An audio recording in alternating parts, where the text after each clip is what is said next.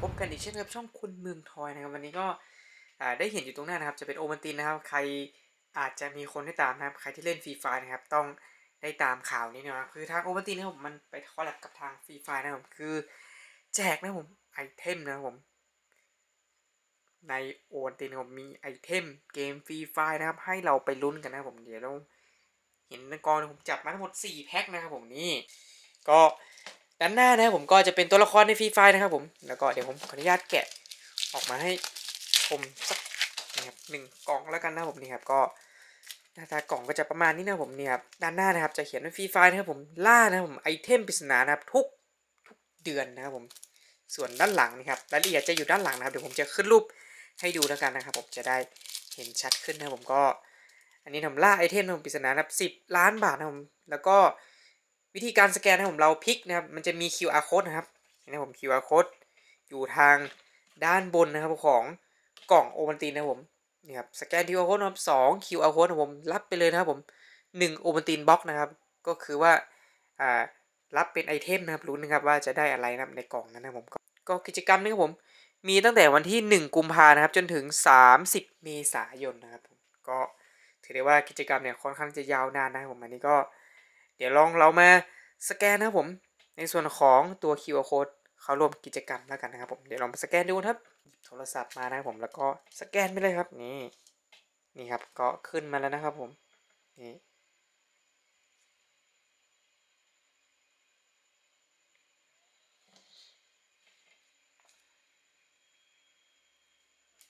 นี่ครับพอเราสแกน QR code แล้วนะเข้าไปที่ไลน์นะผมเนี่ยมันก็จะให้เราทำการแอดนะผมเพื่อน โอวันตินนะครับผมนี่ครับก็แอดเข้าไปเลยครับผมนี่แล้วก็ไปที่ช่องแชทนะครับผมที่ช่องแชทแล้วมันจะมีนะครับหัวข้อนะผมให้ลงทะเบียนนะผมก็ กดเข้าไปเลยครับ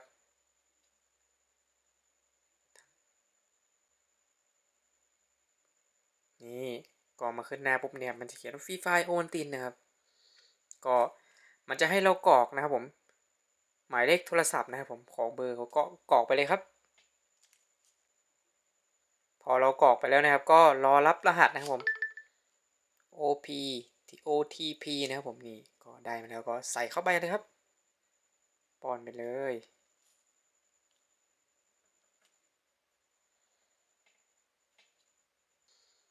นี่ครับก็พอเรากดยืนยันเสร็จปุ๊บมันก็จะให้เรานะครับกรอกชื่อนามสกุลที่อยู่ก็ยัดกรอกแป๊บนึงครับ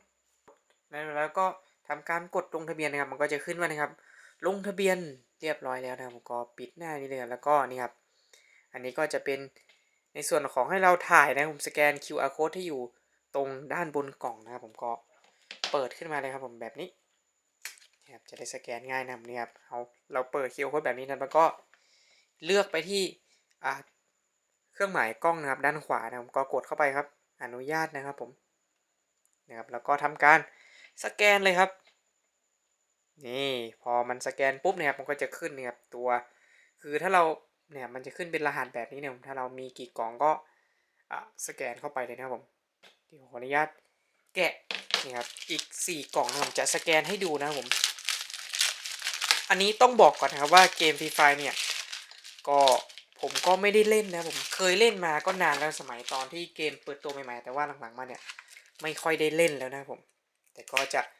ทำการ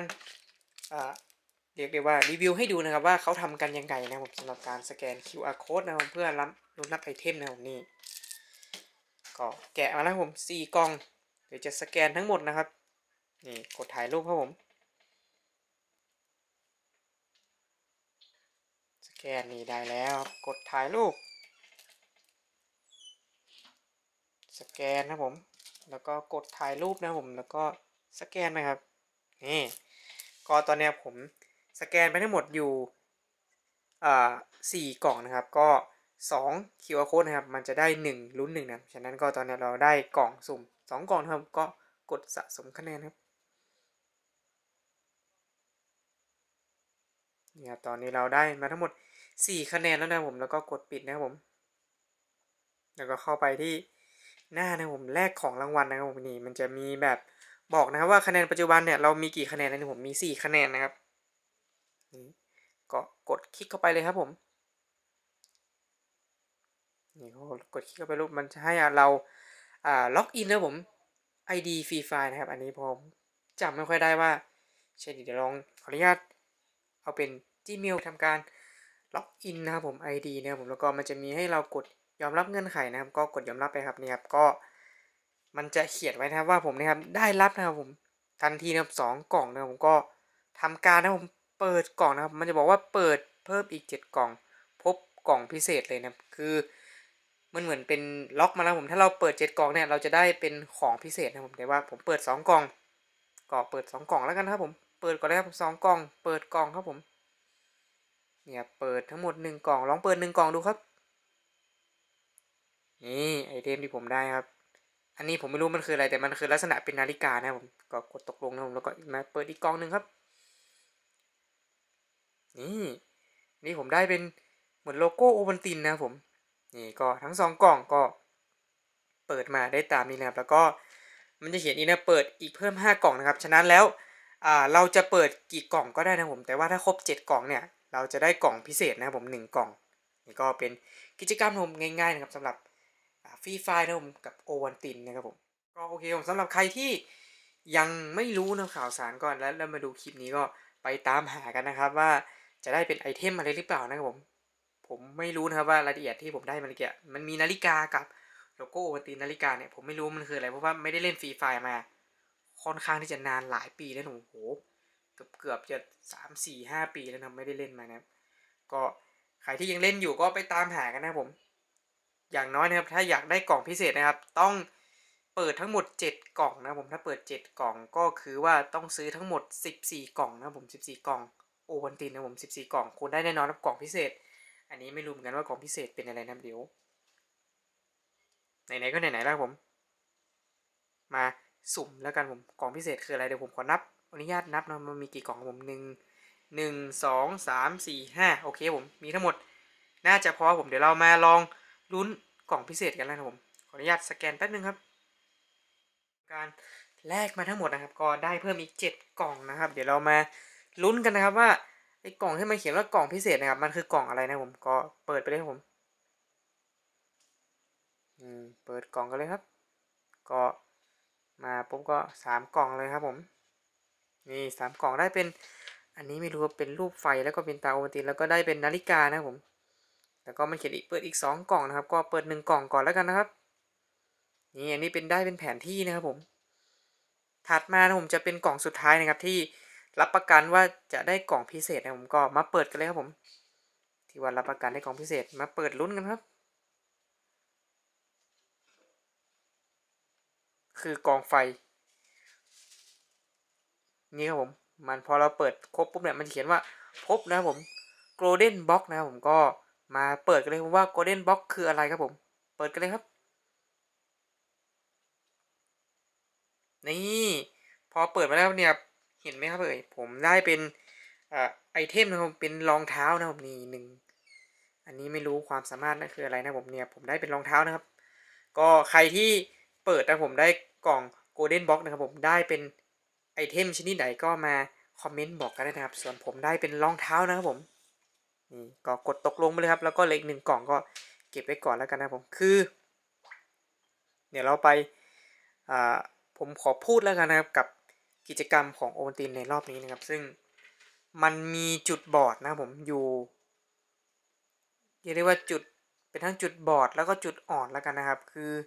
ไอเทมนะครับมันค่อนข้างที่จะหาง่ายแล้วต้องบอกเลยนะครับว่าช่องทางนะครับ มันทำให้แบบ อาจจะเจอแบบพวกเกียนๆนะผมพวกเกียนๆพวกแบบนิสัยเสียนะผมคือไปสแกน ตรงด้านบนกล่องได้เลยนะผมแบบไม่ต้องซื้อนะผมคือแบบสแกนเอาแบบไอเทมในแบบฟรีๆเลยนะเพราะว่า ผมไม่รู้ทางโอวันตินเนี่ยมันทำผิดหรือเปล่านะผมที่ให้สแกนแบบนี้นะครับ เพราะว่ามันง่ายต่อแบบจะเรียกว่ามิจฉาชีพมันก็รุนแรงไปนะครับ เรียกว่าพวกเกรียนดีกว่านะผม คือแบบบางคนอะ ลองนึกภาพนะผมไปเซเว่นนะผม ไปแบบโอ้ยืนแบบไล่แบบสแกนเลยนะครับ กล่องนู้นกล่องนี้คือง่ายคือได้ไอเทมฟรีๆแบบไม่ต้องซื้อนะผม ผมไม่เข้าใจเหมือนว่าทำไมทางโอเบตินถึงทำแพ็กเกจทำการแบบร่วมกิจกรรมแบบนี้นะครับ ซึ่งมันง่ายต่อพวกเกียนนะผมคือ ยังไงก็อยากจะให้เปลี่ยนเป็นรูปแบบอื่นมากกว่านะผม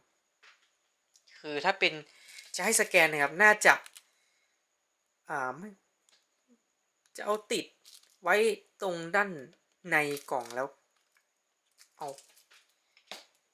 กันไกรมาตัด มันก็จะไม่เวิร์กนะผมก็ไม่รู้ว่าจะแก้ปัญหาแบบนี้ยังไงดี แต่ก็เรียกได้ว่าอันนี้เป็นช่องโหว่แล้วกันนะช่องโหว่ไม่ไม่อยากแนะนำนะผมต้องบอกเลยครับไม่แนะนำนะให้ทำแบบนี้นะเพราะว่ามันจะทำให้คนที่เขาซื้อแล้วอยากได้ QR code จริงๆอยากได้จริงๆเนี่ยเขาจะรู้สึกแบบรู้สึกเฟลรู้สึกแย่นะครับที่ซื้อไปแล้วแต่ว่า ตรง QR code นะครับโดนใช้ไปแล้วนะผมนี่ต้องบอกก่อนนะว่าไม่จะเป็นก็อย่าทำนะครับสำหรับแบบนี้มันมันก็จะเสียสิทธิ์คนอื่นนะครับผม ก็คลิปนี้ก็มีทั้งฝากเตือนนะครับผมแล้วก็ชี้อย่าเรียกว่าชี้ช่องดีกว่านะครับ ชี้ให้ทางโอวันตินแก้ไขดีกว่าคือ แบบนี้คือยังไงเอาไงมันมันเหมือนกับ อารมณ์แบบเหมือนคุณไม่ได้เน้นขายโอวันตินเนี่ยแต่เน้นแบบให้คนมาสแกน แล้วก็ได้ของรางวัลไป ซึ่งโอวันตินคุณจะขายหรือไม่ได้ขายก็ ไม่รู้นะครับว่าทางโอวันตินคิดยังไงครับถึงทำกิจกรรมแบบนี้ขึ้นมานะมันมันมันแบบมันเสี่ยงนะผมมันมันมีช่องโหว่ค่อนข้างที่จะเยอะนะผมโอเคคลิปนี้ก็น่าจะฝากไว้เพียงเท่านี้นะผมก็ใครที่ตามหาก็ไปตามหาแล้วรบกวนผมซื้อผลิตภัณฑ์ของเขามาด้วยนะครับอย่าไปแอบสแกน แล้วคนอื่นเขาซื้อเขาจะไม่ได้นะครับผม คลิปนี้ก็ฝากไว้เพียงเท่านี้อย่าลืมกดติดตาม กด subscribe กดไลค์ กดสั่นกระดิ่งผมจะได้ไม่พลาดคลิปดีๆจากทางช่องเราคนเมืองทอยไว้เจอกันในคลิปหน้าครับผม ไปแล้วครับเจนครับ สวัสดีครับ